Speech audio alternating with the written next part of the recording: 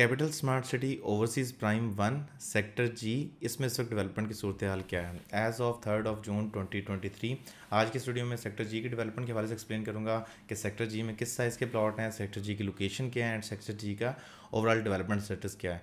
सबसे बड़ी बात कि सेक्टर जी की जो मुझे अच्छी लगती है, अगर आपने टेन मरला का प्लॉट बाय करना है तो आपके पास दो ऑप्शन आते हैं। एक आता है आपके पास ओवरसीज़ ईस्ट सेक्टर सी और दूसरा आता है सेक्टर ए ओवरसीज़ ईस्ट में, और सेक्टर के भी आता है।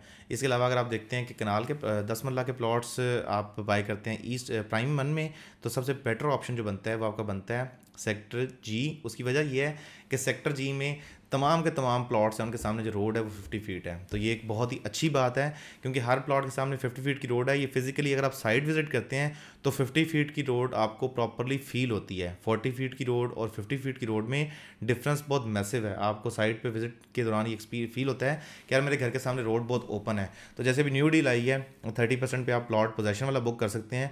तो आपके पास अगर सिलेक्शन का मौका मिले पर्सनली मुझे सिलेक्शन का मौका मिले तो मैं जी ब्लॉक को प्रेफर करता हूँ। और जी ब्लॉक जो है, वो इसलिए भी प्रेफर करता हूँ Então, एक तो इंटरचेंज डिस्टेंस तकरीबन तमाम जो दस मरला के प्लॉट्स हैं, उनका इक्वली बनता है मास वाइज सेंट्रल के, लेकिन सेंट्रल का मैं प्रेफर नहीं करता due to land train of central G block लेकिन जी ब्लॉक जो ओवरसीज़ प्राइम वन का है, वो सबसे ज़्यादा प्रेफर इसलिए होता है कि इंटरचेंज एक तो डिस्टेंस तकरीबन तीन, साढ़े तीन किलोमीटर का है तो बड़ा डिस्टेंस नहीं बनता ज़्यादा। दूसरी बात कि गोल्फ कोर्स से बिल्कुल एडजस्टेंट है। तीसरी बात कि ब्लॉक के अंदर 50 फीट की रोड है। और चौथी बात कि गेट नंबर टू जो है, जो स्मार्ट सिटी का मेन चक्री रोड पे दो गेट तीन गेट्स बनने हैं, उनमें से गेट नंबर टू है, उसके बिल्कुल साथ जो फ्यूचर में रिंग रोड बनेगी, उसका इंटरचेंज सेक्टर जी से नज़दीक नहीं होगा तो ये एक एडवांटेज सेक्टर जी को मिलता है। और सेक्टर जी में वैसे भी दस मतलब के जहाँ भी प्लॉट्स हैं, वहाँ पर सेक्टर जी के अलावा भी सेक्टर सी में भी देखें तो वहाँ पर विलाजी कंस्ट्रक्शन आपको काफ़ी हद तक नज़र आती है, ज़्यादा नज़र आती है। यहाँ भी विलाजी कंस्ट्रक्शन आपको मेन रोड पर जो वन फीट रोड है, उस उस पर आपको विलास की अच्छी खासी कंस्ट्रक्शन नज़र आएगी तो ये एक इंपॉर्टेंट बात है इस लिहाज से।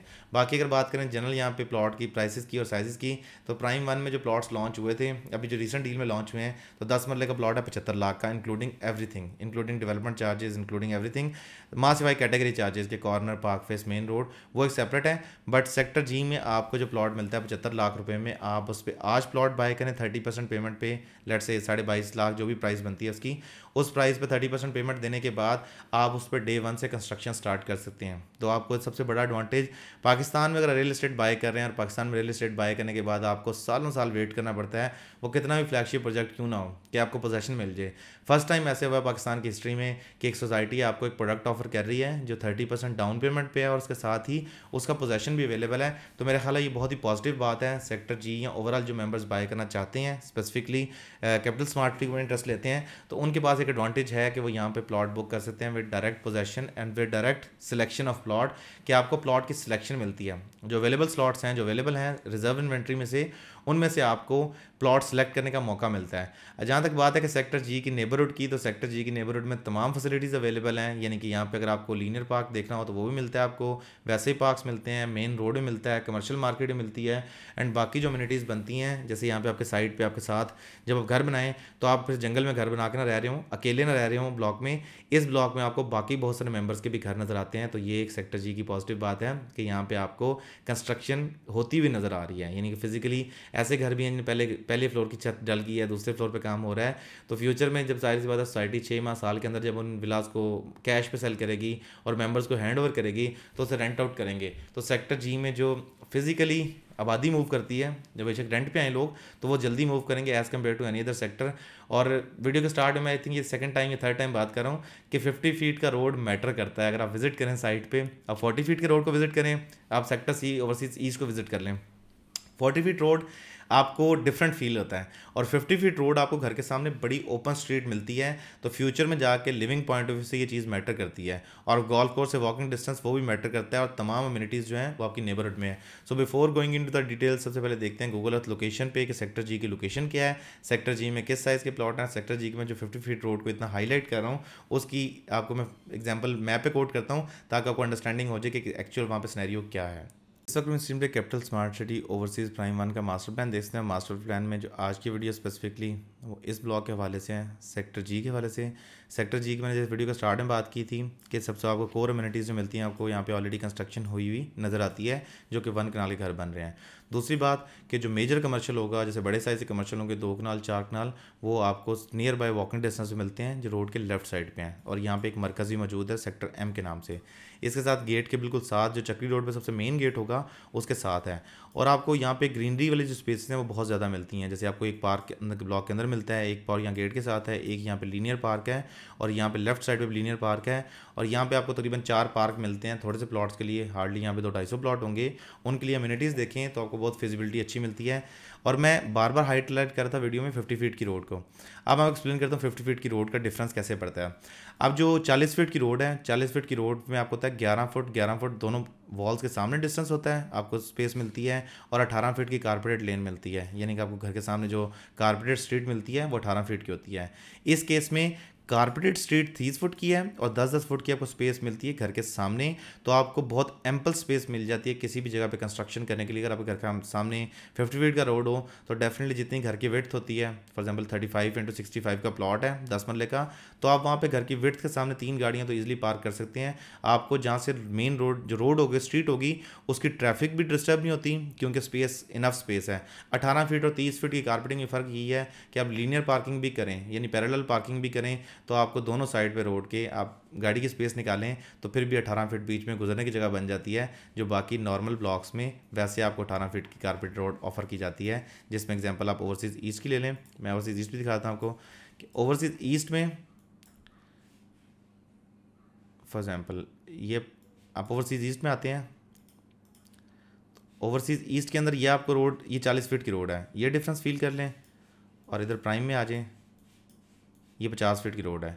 तो आपको फिजिकली साइड पर जाके प्रॉपरली एक जो डिफरेंस फील होना होता है, एक रोड का वो फील होता है तो ये इसकी अच्छी बात है प्राइम के सेक्टर जी की। अब बात करते हैं इसकी चार साइड्स की चार साइड्स पे क्या बनता है, उसके बाद मैं वीडियो में बाकी जाके, बाकी डिटेल्स हैं, वाकई एक्सप्लेन करता हूँ। नॉर्थ साइड पे इसका सेक्टर ई e बनता है, जहाँ पे कमर्शियल मार्केट भी है और यहाँ पे जो रेड बॉक्स नज़र आ रहा है, ये स्कूल और मस्जिद के प्लॉट्स हैं। उसके साथ यहाँ पे ईस्ट साइड पे यहाँ पे चक्री रोड है और यहाँ पे भी कमर्शियल मरकज़ फेसिंग चक्री रोड होगा। अगर हम बात करें इसकी साउथ साइड पे, यानी नीचे वाली साइड पे देखें तो आपको फिर एक कमर्शियल मरकज़ मिलता है 180 फीट वाइड रोड के बाद। और अगर हम इसकी वेस्ट साइड पे वेस्ट साइड पे बात करें तो आपका सेक्टर एच आता है जो कि वन कनाल कटिंग है। तो ये सारा एरिया पॉश एरिया होगा क्योंकि यहाँ पे सिर्फ़ दस मरला और कनाल घर हैं और आर्किट के सामने आपको पचास फीट की रोड मिलती है। आमतौर पर जब सोसाइटीज़ प्लाट की नक्शे डिज़ाइन करती हैं तो जो चार कनाल, दो कनाल, इस तरह के प्लॉट्स होते हैं, उनके सामने पचास फुट की रोड रखती हैं। यहाँ पे क्या दस मरला, क्या एक कनाल और क्या दो कनाल और क्या चार कनाल सबके सामने आपको फिफ्टी फीट रोड की स्ट्रीट मिलती है, जो कि बहुत ही पॉजिटिव बात है। Again back to real time footage दोबारा अपने स्क्रीन पे वही सेक्टर जी की फुटेज देख सकते हैं, जो एक्चुअल साइट फुटेज है थर्ड ऑफ़ जून 2023 की। और इसमें आपको जितनी अम्यूनिटीज़ मैंने एक्सप्लेन की हैं, वो भी मिलती हैं। अब बात करते हैं थोड़ी सी लैंडस्केप की, क्योंकि कैपिटल स्मार्ट की जब मैं वीडियोज़ बनाता हूँ तो मैं लैंडस्केप का ज़िक्र बार बार करता हूँ कि लैंडस्केपिंग यहाँ बहुत अच्छी है। अगर आप सेक्टर जी को देखें 360 व्यू में तो आपको सेक्टर जी में सामने वाली साइड पे आपको पूरा एक पहाड़ी सिलसिला मिलता है, जो कि बहुत ही पॉजिटिव बात है, क्योंकि आपको बिल्कुल साथ ही घर से जो व्यू मिलेगा, वो बहुत अच्छा व्यू बनता है number one number two sector G से आप वॉक करके जाएँ तो आप गोल्फ कोर्स तक जा सकते हैं, यानी गोल्फ कोर्स जो है वो किसी भी सोसाइटी का. इनफैक्ट गोल्फ कोर्स के नाम पे पूरी पूरी सोसाइटीज़ बन जाती हैं गोल्फ कोर्स है वहाँ पे. जैसे एटीन इस्लामाबाद एग्जांपल ले लें the most expensive society in Islamabad right now just because के eighteen hole PG standard golf course है, जिसके सराउंडिंग में कुछ विलाज और कुछ अपार्टमेंट वगैरह सेल किए जा रहे हैं। यहाँ पे गोल्फ कोर्स जो है वो सेंटर पॉइंट है, जहाँ से पूरे के पूरे डिस्ट्रिक्ट जो है वो फ़ायदा उठाते हैं और डिस्ट्रिक्ट के रेजिडेंट्स को भी फ़ायदा होगा।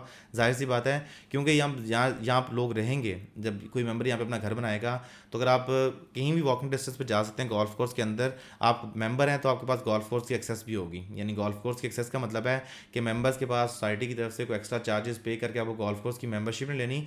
Yes there is a possibility कि आपको गोल्फ खेलने के लिए मेंबरशिप लेनी पड़े, लेकिन जो गोल्फ कोर्स का कम्युनिटी सेंटर है, जो गोल्फ कोर्स का रेस्टोरेंट एरिया होगा, जो गोल्फ कोर्स का वैसे जैसे जिम खाना क्लब टाइप होते हैं, उस तरह का जो क्लब बनेगा उस तक एक्सेस जो है वो ईजी होगी। तो ज़ाहिर सी बात है कि ये एक बहुत ही पॉजिटिव इम्पैक्ट डालता है उन मेंबर्स के लिए जो यहाँ पे अपना घर बनाएँगे गोल्फ कोर्स की नेबरहुड में।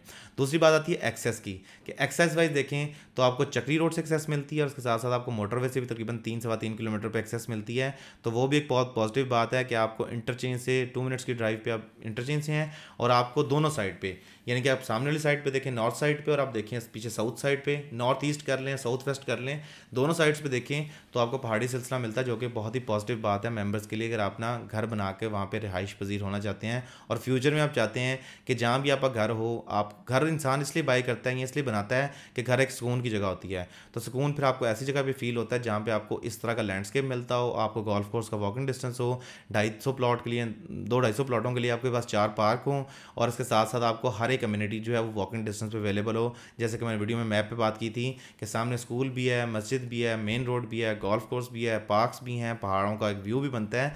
तो सारी चीज़ें बहुत ही पॉजिटिव नोट ऐड करती हैं कैपिटल स्मार्ट सिटी के इस स्पेसिफिक सेक्टर में जिसका नाम है सेक्टर जी तो ज़ाहिर सी बात है, जिन मेंबर्स के पास यहाँ पे ऑलरेडी सेक्टर जी में प्लॉट की अवेलेबिलिटी बहुत कम है तो ये मैं को सेल करने के लिए बात नहीं कर रहा। ये उन लोगों के लिए बात कर रहा हूँ जिनके पास ऑलरेडी यहाँ पे प्रॉपर्टीज़ आ चुकी हैं, क्योंकि इसकी 95 परसेंट इन्वेंट्री जो है, या 98 परसेंट इन्वेंट्री वो मेंबर्स के नाम पे है well viewers this was it from today अगर आपको कैपिटल स्मार्ट सिटी या लाहौर स्मार्ट सिटी में बुकिंग के वाले से कुछ मालूम चाहिए हो तो दिए गए नंबर पर रबा करें। इसके अलावा हमारी वेबसाइट विज़िट करना मत भूलें। W W W dot Makaan solution dot com अगर आपको ये वीडियो अच्छी लगे तो please do like comment and share और चैनल को सब्सक्राइब करना मत भूलें। रिजवान चीमा को दीजिए इजाज़त। अगली वीडियो तक के लिए खुदा हाफिज़।